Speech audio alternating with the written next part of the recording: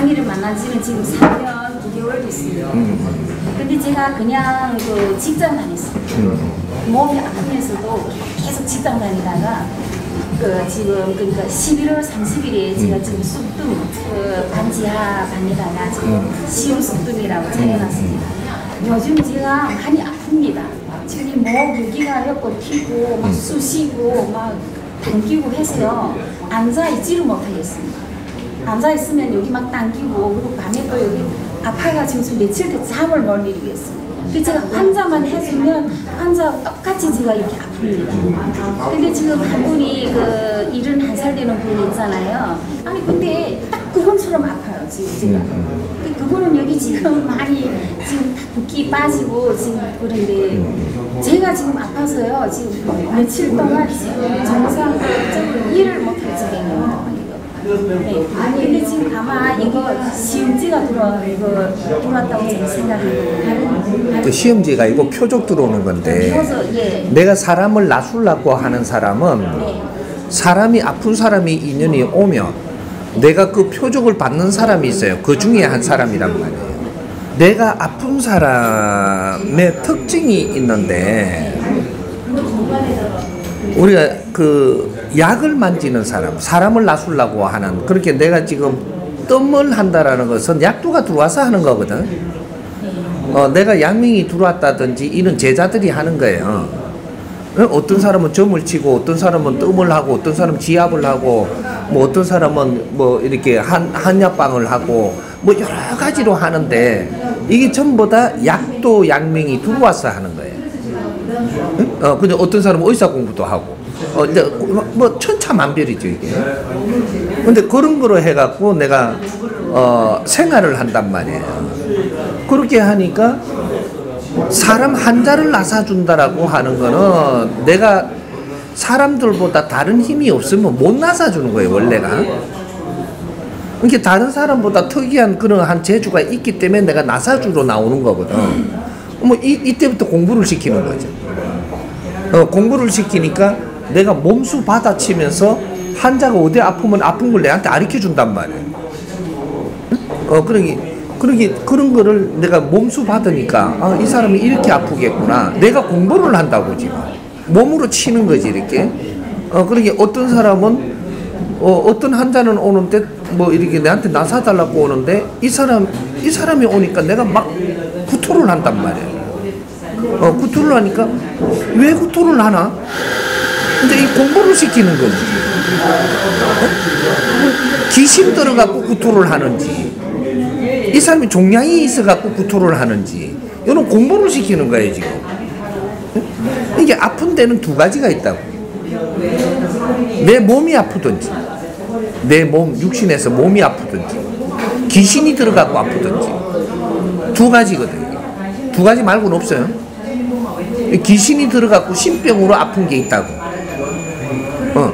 근데 신병으로 와갖고 아픈데 이걸 처리를 못하고 오래 놔두면 내 육신의 병까지 오는 거예요. 두 가지가 있거든. 이게 신병은 우리 조상들이 그렇게 아파갖고 간 조상이 와가지고 내 육신에 들어와서 내가 아프단 말이에요. 이건 신병이에요. 음. 그렇게 우리 우리 집안에 내력이 있는 병도 있고 그 신병들이 집안에 약 먹고 돌아가는 사람 죽는 사람이 있으면 약 먹고 죽은 사람이 많아요. 그때를 찾아보면. 어. 그러니까 집안에서 이혼한 사람이 많으면 이혼한 사람이 많듯이. 어. 그래 사주단자 보러 갈 때 우리가 이렇게 그 저 조금 위 집안에는 그 집의 내력부터 먼저 본다고. 어, 내력을 보고는 어, 이 집에는 너무 그런 게 많으니까 딸을 우리는 안 받겠다. 네? 딸도 그 집안에 이래 보면은 내력적으로 바람 많이 피운 게 많다든지, 어, 또뭐몸 어떻게 아파가 죽은 게 많다, 약 먹고 죽은 게 많다든지 하면은 딸을 안 보낸다고 그 집에 또. 어, 요런 것들이 전부 다 신병으로 내려오는 거거든, 이게. 조상들의 어, 줄. 요래 갖고 내려오는 거란 말이야. 이게 내려오는 것들을 나는 이제 그런 기운이 있기 때문에 약도를 가지고 이 사람들을 대하는데 이 사람이 왜 아픈가를 공부를 해야 될까 인가비 이런 걸 모르면 몸수 겪으면서 이제 이게 뭔가 하고는 내만 이제 힘든 거야 어떤 사람은 이걸 10년, 30년 또 공부하는 사람이 있어요. 어, 어 그러면 다다지 아픈 거야. 응. 내가 아프다라는 거는 지금 그걸 공부시키는 사람이거든 지금 이게. 이제 그게 우리만 그런 게 아니고 무속인들도 그렇게 아프면서 이게 점을 치고 아프면서 일을 하는 사람이 있고 어, 어떤 사람은 감각으로 탁탁탁탁 치갖고 일하는 사람이 있고 일하는 방법이 천태만상인 거라.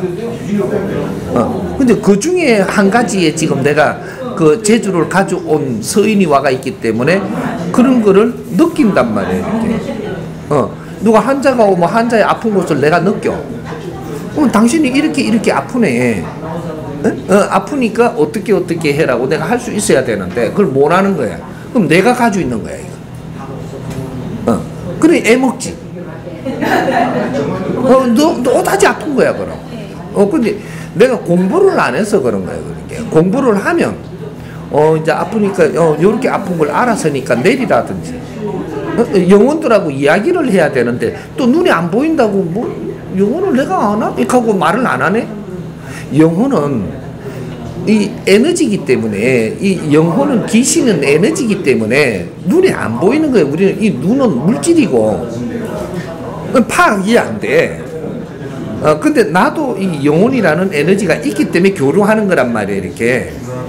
어, 영혼은 물질이 아니고 비물질이라 에너지거든.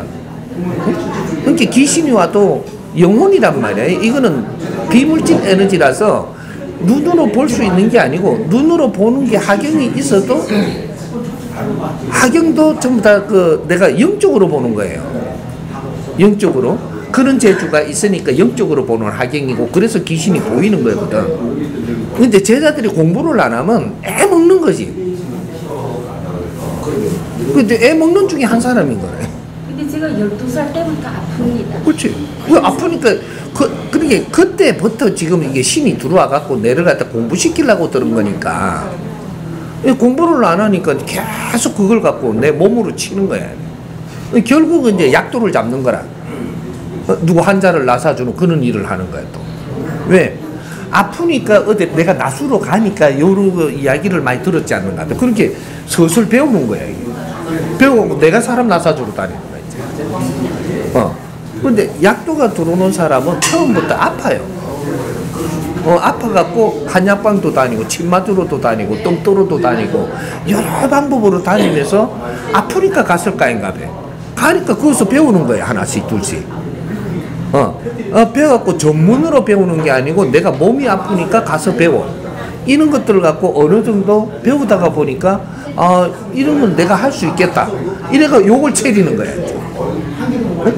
어, 그게 약도가 드는 사람들은 아프게 해갖고 어디로 가게 한다고. 그럼 어, 그러니까 나사 줄 수 있는 사람을 찾아가면 그 사람이 약도가 있는 사람이란 말이에요. 이렇게 여기 인연을 만나게 해줘 그렇게 가. 안 그러면 안 갈 거 아니야. 안 아프면. 그러니까 거기서 공부를 하게 해주는 거예요. 어, 그게 우리가 그 똑같은 게 뭐냐면